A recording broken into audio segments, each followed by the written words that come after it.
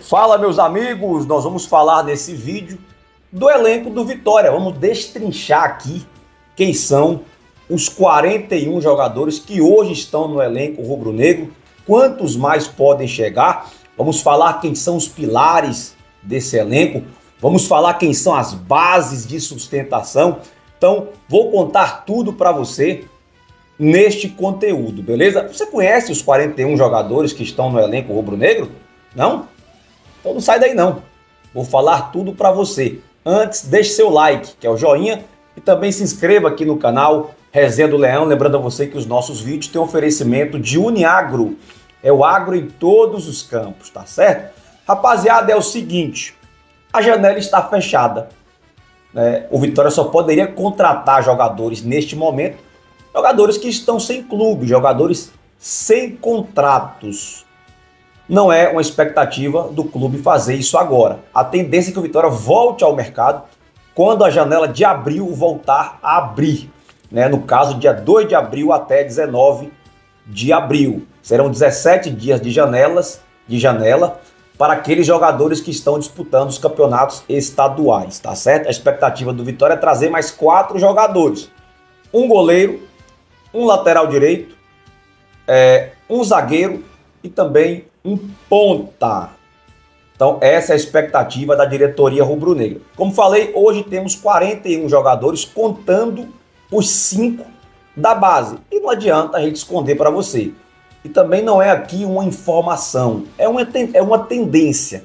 A gente que está ali nos bastidores do Vitória, a gente sabe que os meninos da base estão ali para ganhar maturidade, para amadurecerem. Não é para usar os meninos esse ano. É para usar no ano que vem, porque o Vitória está no ano de afirmação. O Vitória precisa criar raízes como time de Série A. Ah, Marcos, Vitória tem raízes na Série A. Perdeu. Infelizmente, o Vitória precisa reconquistar o seu espaço. Eu vou dizer para você, futebol, meu amigo, é para gente grande, tá? Então não é momento de jogar esse peso nas costas dos meninos que são promissores. É Denilson, José Breno, Renato, Luiz Miguel e também o Fábio, né, que está um pouquinho à frente, contando ali aqueles cinco. É o que vem tendo mais oportunidades, pelo menos, de sentar no banco de reservas. Então, destrinchando isso aqui para você, agora nós vamos falar posição por posição, tá certo? E em seguida falaremos dos pilares, das bases de sustentação e também o que virá pela frente. Goleiros, Fintelman Maicon Cleito, Muriel, Lucas Arcanjo. Então, Vitória pretende trazer mais um goleiro, é, na expectativa desse goleiro ser um jogador que vá fazer sombra a Lucas Arcanjo, porque nesse momento me parece que os demais goleiros que estão ali não trazem essa confiança tanto para o torcedor como também para a diretoria. Mas não é motivo, torcedor, de você ensaiar vaias no Barradão. Não vamos, não vamos quebrar esse momento, esse ambiente que estamos vivendo, tá certo? Então, quatro goleiros no momento, pretende vir mais um, ficaria cinco. Zagueiros, nós temos o Reinaldo, que acabou de chegar, temos o Camutanga, temos o João Vitor, temos o Zapata e o Wagner Leonardo. Temos cinco zagueiros e a pretensão é vir mais um. Então ficaria seis zagueiros. Acho que é uma posição que a gente, pelo menos por enquanto, não tem do que se preocupar o Camutanga e o Wagner dão uma boa sustentação no setor defensivo e são jogadores que não se machucam, né? Raramente também tomam cartões. São jogadores bem efetivos nos jogos do Vitória. E a tendência é vir mais um, e o nome mais certo, propício a vir, é o zagueiro Maicon. Segundo o presidente Fábio Mota, o Vitória ainda deve tentar trazer esse jogador na próxima janela de abril. Volantes. É, rapaz. O setor de meio de campo do Vitória é o setor mais farto. É o setor de mais qualidade desse elenco. O Vitória tem ali Luan, recém-contratado, Caio Vinícius, Rodrigo Andrade, William Oliveira, Leonaldi e o Dudu. Olha só a quantidade de volantes e volantes com qualidade. Vitória não pretende trazer volantes, tá?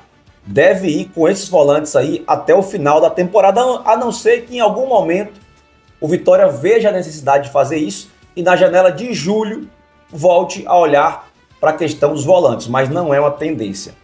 Vamos agora para os laterais. Temos o Lucas Esteves, temos o Felipe Vieira, rapaz, que eu vou fazer um vídeo falando sobre ele, hein? Ele já está aí fazendo treinamento em campo, está voltando com tudo, Felipe. Uma recuperação, ao meu ver, até de certa forma rápida. Aí tem o PK, tem o Zeca e tem o Cáceres. Né? A pretensão da diretoria era vir, era na verdade, tinha pretensão de vir esquerdo. Só que aí, com essa recuperação rápida do Felipe Vieira, acabou que não é mais foco. O foco realmente agora é um lateral direito. Beleza?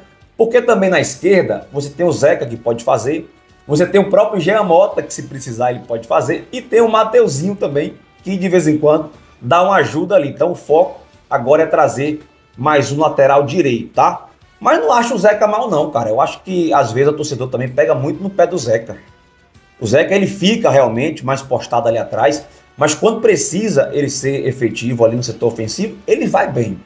Você vê que no segundo tempo do jogo contra o o Itabaiana, ele deu uma outra dinâmica de jogo, quando ele sai mais para jogar. Então, eu acho o Zeca um bom jogador. Agora vamos falar dos meias. Jean Mota, Daniel Júnior, Mateuzinho, é, meu amigo, Luan, Luan, Luan Guilherme, né, que veio do Grêmio. O outro Luan é o Luan Vinícius, né, o volante que veio de São Paulo. E também o Pablo, que é uma promessa também aí, jogador que veio da Jacuipense. Bom jogador o Pablo, tá? muito bom. E também não tem pretensão de trazer mais meias, a não ser que surja alguma possibilidade, e aí o Vitória voltaria a pensar em meias. Pontas: Everaldo, Matheus Gonçalves, Zé Hugo, Juan Nascimento, rapaz, voltou. Saiu no bid ontem. Vai voltar aí. E vai ficar no elenco, né? A gente sabe que não vai ter oportunidade, mas voltou aí de empréstimo do Figueirense, o Nascimento. Aí tem também o Eric Castilho, equatoriano, e o Oswaldo. Eu deixei para colocar aqui o Yuri Castilho como centroavante, mas eu sei que ele vem fazendo a função de ponta. Agora vamos falar dos centroavantes. Né? Alejandro e Yuri Castilho, como falei, é, Luiz Adriano, recém-contratado, Caio Dantas e Léo Gamalho. A tendência é que deva sair algum jogador desses aqui na janela de abril. Como falei anteriormente, o Vitória vai ao mercado trazer mais quatro jogadores: um lateral direito, um zagueiro, um goleiro e um ponta. Valeu? Quem são as bases desse time? Cara, eu vejo é, esse time com alguns jogadores muito importantes, que é o caso do Lucas Arcanjo, Wagner Leonardo, Dudu, Mateuzinho, Jean Mota, que chega com peso extraordinário, e o Oswaldo. Eu acho que esses jogadores são os tops do Vitória, mas tem também jogadores ali que são bases também de sustentação. É, esse que eu falei primeiro são as colunas, né, velho? Sabe, os pilares. Agora também tem aqueles jogadores que são base de sustentação. É o caso do Zeca, Camutanga, Rodrigo Andrade, o Leonardo, que chega agora também com esse potencial, o próprio Luan, o volante, que veio de São Paulo, o Luiz Adriano, o Daniel Júnior, o Everaldo, o Yuri Castilho, são jogadores muito importantes também dentro desse elenco. Os demais precisam mostrar um pouco mais, mas você vê que o elenco do Vitória já está encorpado. Tem jogadores importantes, tem jogadores de qualidade que vão dar sustentação a esse time do Vitória. Então, é isso, para você entender, temos aí 41 jogadores hoje contando da base. Com a chegada de mais quatro, podemos ir para 45. Então, desses 45 que vai ficar, né, com os quatro que vão chegar, é, provavelmente o Vitória deve emprestar aqui pelo menos uns 4 a 5 jogadores. Aí o elenco baixaria para essa média de 38, 39, no máximo 40 atletas, beleza? E vai com isso para o Brasileirão. Se houver necessidade de alguma mudança, vai ser em julho, né? Lá quando já tiver quase no finalzinho do primeiro turno do Campeonato Brasileiro. Então, praticamente 90% do elenco que vai começar a Série A é esse elenco aí. Podendo vir, como falei já a terceira vez que eu falo nesse vídeo, mais quatro peças para reforçar esse time, tá certo? Então é isso. Esse era o conteúdo desse momento. Peço mais uma vez para você deixar o seu like, se inscrever no Resenha do Leão. Muito obrigado por acompanhar os nossos vídeos e até o próximo conteúdo. Um abraço, rapaziada. A gente vai começar o Campeonato Brasileiro é, com esses reforços. É evidente que todos sabem que a gente tem uma nova janela que começa a partir de 2 de abril. Essa janela começa 2 de abril e vai até dia 19 de abril. Essa janela especificamente são para atletas que estão jogando campeonatos estaduais, seja ele paulista, baiano, mineiro, é, goiano, carioca. E a gente continua monitorando, certo? Antes que perguntem, já vou logo responder. Nós ainda pretendemos trazer de três a quatro atletas certo? É, isso nessa primeira janela, para a gente observar como vai se desempenhar o clube, porque aí a gente só vai ter outra janela em junho, junho julho? Julho. Em julho, que é onde a gente pode fazer uma nova é, investida, se assim necessitar. Então, com isso eu dou as boas-vindas, abro, estou aqui eu e Ítalo à disposição de vocês. É, Fábio, que Quais posições são elas? Você tem, você pode nos antecipar essas três, quatro vagas, digamos assim, que estão aí dispostas? Bom, nós é, a ideia nossa é ter três atletas para cada posição. Antes que eu fale das posições, deixa eu, deixa eu explicar aqui como é. é. Não quer dizer que tem deficiência A ou deficiência B, certo? Então, por exemplo, a gente sabe que a gente precisa de mais um lateral direito. Por quê? Porque esquerda a gente já tem três. Além dos dois do elenco, a gente tem Felipe que está voltando aí. Então, só para explicar. Então, a gente deve trazer mais um lateral direito. Volante, nós temos seis, três para cada posição. Só lembrando a vocês, e Léo até lembrou isso na página dele, certo? Ano passado a gente usou sete volantes. Certo. Oito com Johnny Lucas. Então, para um campeonato longo, como é o Campeonato Brasileiro, cheio de cartões, de contusões, certo? Que tem a Copa do Brasil, que tem a Copa do Nordeste. E não adianta você ter só aqueles 11 jogadores do mesmo nível. O ideal é que você tenha 22 do mesmo nível. Eu acho que o diferencial nosso na, na, na Série B foi que quando a gente fazia as substituições, o nível do time não caía ele ou se mantinha ou até seria melhor. Então a gente está tentando fazer no brasileiro a mesma coisa. A gente sabe que hoje o futebol é muito competitivo, é muita força. E nosso time a gente está montando dentro dessa linha.